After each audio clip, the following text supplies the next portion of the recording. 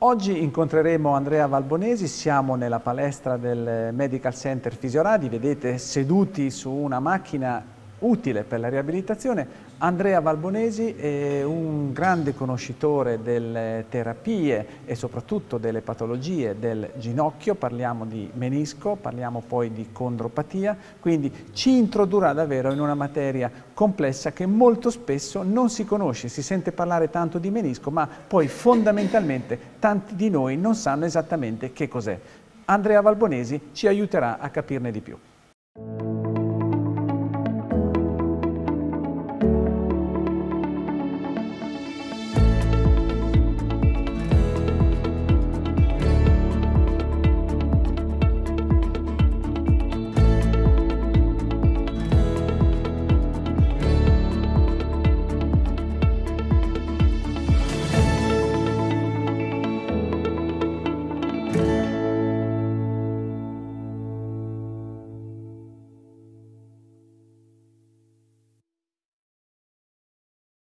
Ed eccoci qua con Andrea Valbonesi, fisioterapista. Buonasera a te. Buonasera, buonasera a tutti. Parleremo di ginocchio, parleremo di meniscopatia, condropatia, ma ovviamente la prima domanda che ci viene spontanea a fare ad Andrea, di cosa si tratta quando si parla di menisco? Che cos'è il menisco?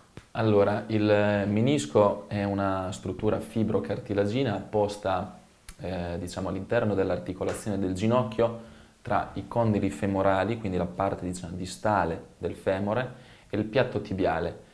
E menisco si, si può differenziare in menisco interno e menisco esterno.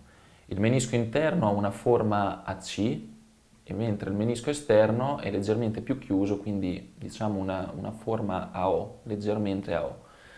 Sono delle strutture appunto fibrocartilagine che eh, servono per eh, flesso, flat, flesso estendere la gamba e soprattutto per attutire diciamo, i traumi eh, sull'articolazione del ginocchio, ma soprattutto per mh, diciamo, distribuire il peso del nostro corpo in modo eh, diciamo, ehm, equilibrato. equilibrato sia sul menisco interno che sul menisco esterno. Quindi sono delle strutture principalmente ammortizzanti. Ecco, infatti mi veniva da fare il parallelismo con gli ammortizzatori della macchina. Esattamente. È come sì. se eh, eh, insieme il, attutiscono, il attutiscono tutti gli urti, eh, tutti i possibili vari traumi eh, che avvengono all'interno del nostro ginocchio. Chiaramente sul ginocchio appoggia gran parte del peso del corpo, poi il ginocchio è un'articolazione molto mobile, eh, molto sottoposta a movimenti anche imprevedibili e quindi ovviamente i menischi hanno proprio questa funzione di equilibrare i movimenti. Esattamente, sì.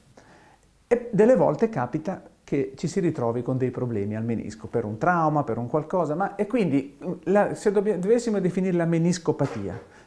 Per meniscopatia diciamo è un termine che eh, in medicina si utilizza soprattutto per eh, classificare diciamo, um, varie problematiche legate ai menischi che possono essere da delle semplici infiammazioni a delle lesioni. Quindi meniscopatia principalmente sono delle lesioni a carico dei menischi e possono essere di natura traumatica o di natura degenerativa. Ovviamente la natura degenerativa, come ben sappiamo, col passare degli anni, eh, insomma andando avanti con l'età, come in qualsiasi altra articolazione del nostro corpo, il ginocchio anche può eh, diciamo, andare incontro a delle problematiche, soprattutto i menischi possono degenerarsi, quindi possono danneggiarsi, mentre eh, diciamo, eh, una normale infiammazione del ginocchio può anche essere una condropatia di diciamo, lieve entità, ma la problematica maggiore eh, correlata diciamo, all'articolazione del ginocchio interna a carico dei menischi è una meniscopatia che può essere anche traumatica a livello degli sportivi soprattutto, eh, quando noi, non so, sportivo eh, subisce un trauma diretto o indiretto, può esserci appunto anche una torsione a livello del ginocchio, in questo caso possiamo avere delle lesioni meniscali.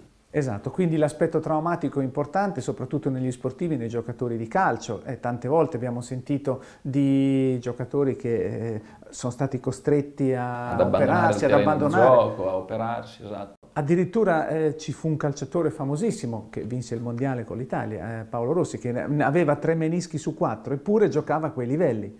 Diciamo che esatto, nel, tanti anni fa fu un episodio, diciamo, incredibile perché appunto giocare in determinate condizioni con delle problematiche correlate al ginocchio, con dei segni di magari di meniscopatie e tant'altro, sono riusciti comunque a farlo giocare. Ovviamente nel corso degli anni i trattamenti, gli, le metodiche di interventi chirurgici sono cambiate, sono migliorate, sono diventate meno invasive, però appunto se noi pensiamo a 30 anni fa e a come venivano diciamo eh, trattate quelle, quelle, patologie in quei casi lì e riuscire a mettere in piedi un giocatore in pochissimo tempo, tanto di cappello insomma.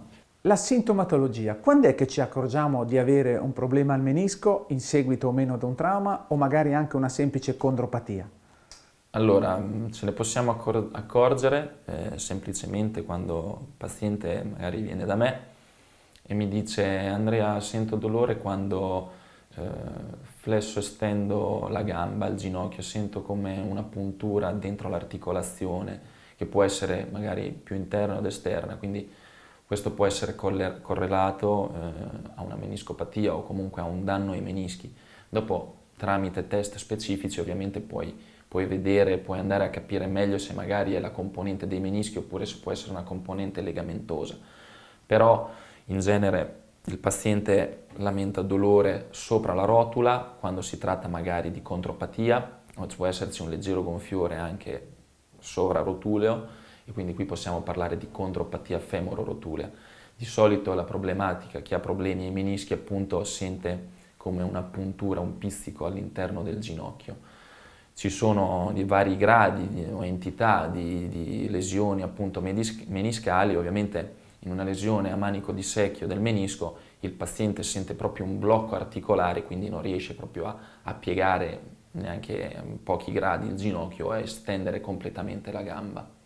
Quindi al di là magari del primo approccio, qualche terapia farmacologica eccetera, si prova a combattere l'infiammazione e il dolore, poi subentra la fase di fisioterapia. fisioterapia. E, e, non a caso questa struttura è, certo. è proprio una, un punto di riferimento per trattare questo tipo di lesioni. Noi qui da Fisioradi Medical Center diciamo, abbiamo la fortuna di intraprendere un percorso completo da, da questo punto di vista perché mm, possiamo partire ovviamente nel trattamento di queste lesioni qua, si parte sempre da un trattamento conservativo poi in base a una diagnosi corretta, appunto fatta sempre medico, da un medico specialista, appunto da questo caso dall'ortopedico, eh, si può poi eh, variare diciamo, la, il percorso riabilitativo, ma si parte sempre da un percorso riabilitativo conservativo che comprende percorsi appunto da, si parte con la fisioterapia strumentale, elettromedicali, quindi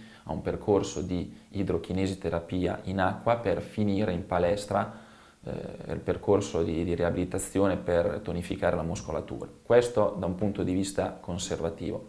Se invece il medico specialista ortopedico decide o comunque valuta il caso del trattamento chirurgico, ovviamente si mm, farà un intervento, però prima dell'intervento è sempre molto indicato fare una riabilitazione preoperatoria per mantenere un trofismo muscolare buono di modo tale che dopo l'intervento il paziente recupera in minor tempo. Esatto, infatti l'aspetto muscolare è importantissimo, mantenere il tono muscolare, mantenere il muscolo in grado di supportare per certi versi eh, l'articolazione che... è quello che si vuole raggiungere, insomma. Bravissimo, cioè il muscolo va a sopperire magari alla problematica dell'articolazione e ad aiutarne soprattutto la guarigione, la fase Bene Andrea, grazie per questo discorso interessantissimo riguardante il ginocchio, il menisco, le condropatie, questi dolori che tanto spesso ci attanagliano a tutti. Ti ringraziamo davvero, sei stato molto molto chiaro e molto esaustivo nella tua... Grazie mille a voi, è stato un piacere. Buona serata, ci vediamo lunedì prossimo.